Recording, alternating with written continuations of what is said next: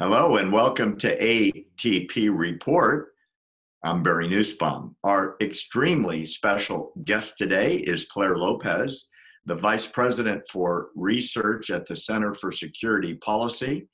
She has an extensive Middle East background. She understands uh, what's going on over there, especially in regards to the Islamic Revolution being exported out of Tehran like nobody else which is why she's our special contributor to ATP Report. Clare, thank you for joining us today. And thank you, Barry, for uh, having me on. Very glad to be with you as always. Well, let's get going. We have some dramatic news that has taken place in the past week.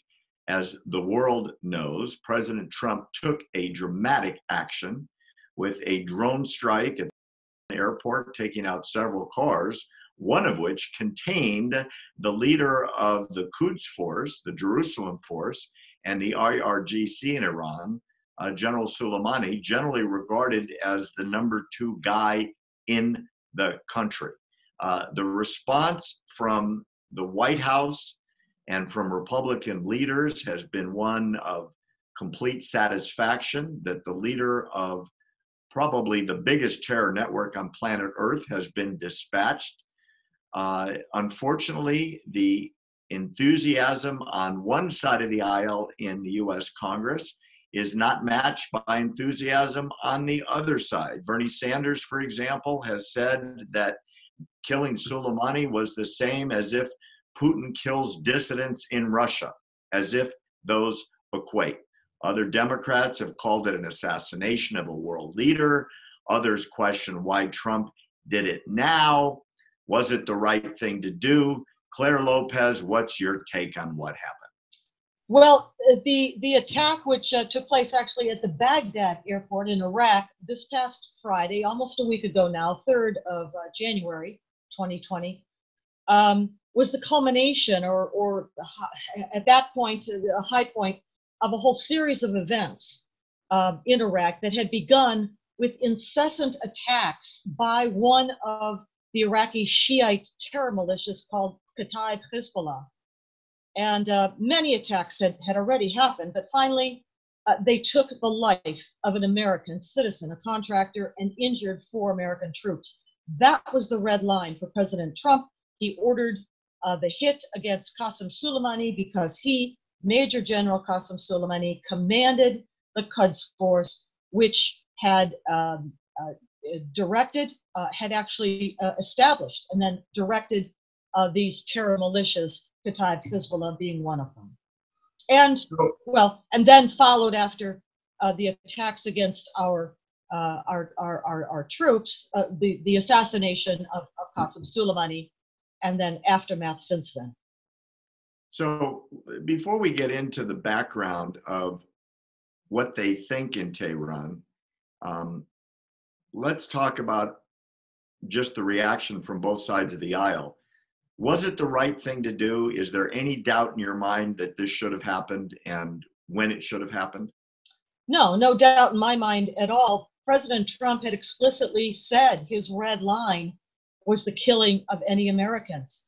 And when that happened, they crossed that red line and he responded as he should as commander in chief um, defending Americans and defending um, American uh, sovereignty and and uh, presence in in uh, our our embassy, of course, as well in in Baghdad.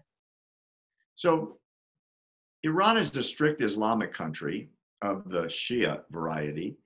Um, tell us what their constitution says. Literally embodied in the constitution, there's verbiage about what they're supposed to be doing to export their version of Islam, the Shia variety, and talk to us about that. What is the goal under that constitution um, that might have some background and give our viewers an insight into why they behave the way they do?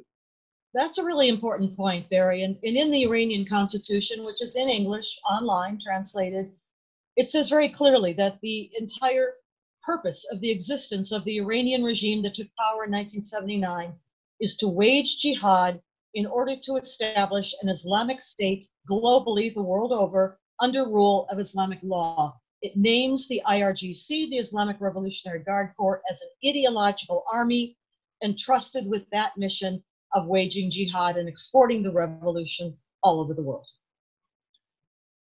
Has anybody read it? I mean, you talk about it like you could pick it up off the internet in 30 seconds. Why isn't this well known as if these people are crazy and did something wacky when in reality what you're telling us is since 1979 it's been their Mein Kampf. We are going to cancel uh, normal relations. We're going to conquer the world. And here's the document that codifies it. Well, you know, it's not just the Constitution either, Barry. Um, in that Constitution, they quote directly from the Quran, verse 860, which says, Make ready your power to the utmost of your ability, including steeds of war, to strike terror into the hearts of the enemy. That's in the Constitution. So it's not just the Shiite version or Sunni version. This is Islam. This is what it is. This is what it has always been since at least the 10th century.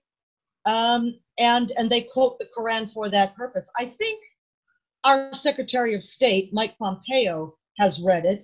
Some of the things he said makes me confident that he has. Perhaps the president also knows this, but you're right, too many others don't. Well, obviously, it's not just what the Constitution says, but who you get to carry it out. So, talk to me a little bit, if you can. Where did General Soleimani fit into this? Obviously, as you said, the head of the Quds Force, um, the Jerusalem Force, as it were, uh, one of their stated missions is to liberate Jerusalem from the infidels, uh, the Jews and Christians that are defiling that holy spot. Um, what were his activities? How does he fit in as as uh, the role that he just filled? Uh, that now has a new place, uh, a new person in that place. So Qasem Soleimani was born in 1957. Um, he came of age uh, as um, uh, the revolution began in 1979. Uh, he joined the IRGC right off the bat. He was sent to the battlefield in the war between Iran and Iraq in the 1980s, where, according to reports, he acquitted himself with great courage and honor. Um, that made his reputation. Um, he moved on later to the Quds Force and in 1998 became commander of the Quds Force. Uh, that means three years before 9 11. So he was the lead Iranian official um, in charge of the Iranian and Hezbollah role uh, in 9 11 and we could go on with a long rap list of, of, of uh, the, the uh, attacks against Americans and America that he was involved in from that point on. So, what you're saying is the United States has designated Iran the leading state sponsor of terror in the entire world, and the IRGC and its various proxies, such as Hezbollah, as terror groups. Yes. Therefore, the head terrorist worldwide would have been General Soleimani. Am I correct? Yes, exactly. It was his job and the job of the Quds Force to establish and then to arm and fund and train and back um, these many different Shiite proxy militia forces. You named Hezbollah, we could name Hamas as well, Palestinian Islamic Jihad, all of these terror Shiite militias in Iraq that wreaked such havoc with Iranian explosives against our own troops and coalition troops and Iraqis uh, during the, the, the, middle 2000s. But that was their job to export the revolution, uh, to, to do that by means of proxy militias, to export Islamic terror. That's what they did. So, with that understanding, and obviously you're not giving us this education because there's um, some secret source of information that Clare Lopez gets her hands on. Everybody has access to this information. It's open source, correct? Absolutely. Some of this is contained, for example, in the 9 11 Commission report of August 2004. A lot of uh, the other uh, pieces of information that I, uh, I have um, for, for uh, about Qasem Soleimani and the Quds Force and especially the role of Iran and Hezbollah together with Al Qaeda in the attacks of 9 11. That comes um, from the Havlish case, again, totally open source, a 9 uh, 11 uh, legal case um, in which Judge George Daniels, Southern District of New York, in December 2011 ruled that Iran and Hezbollah were co responsible with Al Qaeda for the attacks of 9 11. That's all open source, um, as well as multi- a multitude of, of, you know, open source reporting about other, other attacks in which um, Iran and Al Qaeda and Hezbollah working together were involved. Uh, you know, the, the uh, Khobar Towers in 1996, East Africa Embassy bombings in 1998, USS Cole in 2000, uh, and on, as we said, 9 11, um, the explosive devices sent into uh, Iraq that shredded, maimed, killed our, our, uh, our people there. On we go. Well, President Trump made it very clear, as did Mike Pompeo this week, that Soleimani and his operatives have been responsible for hundreds of American deaths and thousands of injuries, casualties worldwide, not to mention the terror that's been fermented uh, in other countries. How in the world could anybody in their right mind lament the death of this character? No idea, um, but but we really need to emphasize that the threat that Soleimani and his Quds force presented and, and, and wielded uh, against America and the United States continues. Um, and in particular, I'll say that uh, Hezbollah, uh, an organization that, that predated Qasem Soleimani's command of the Quds Force, but nevertheless with which he worked directly later, Hezbollah has operational cells all over the United States. And certain key Iranian regime leadership figures have said that that is one possible means by which the regime could consider to take revenge against the United States. Thanks for joining us today on American Truth Report.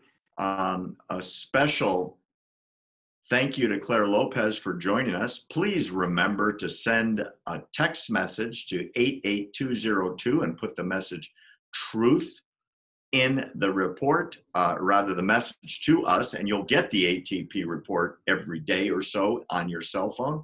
Send 88202, the word truth, and you'll be subscribed for free. For ATP report, I'm Barry Nussbaum.